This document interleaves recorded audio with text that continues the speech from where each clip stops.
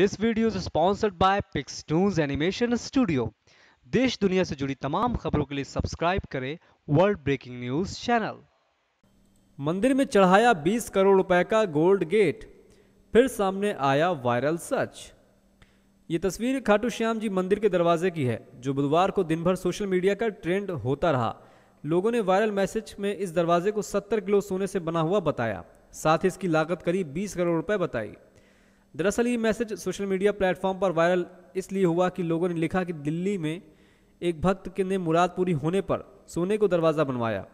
शाम को श्री श्याम मंदिर कमेटी को इसकी अफवाह का खंडन जारी करना पड़ा। मंदिर कमेटी के मिनिस्टर प्रताप सिंह ने कहा कि खबर पूरी तरह झूठी है। उन्होंने बताया कि दरवाज़ा लकड़ी का है। इस दरवाजे पर चांदी का पतरा लगाकर सोने की पॉलिश की गई है। धन्यवाद।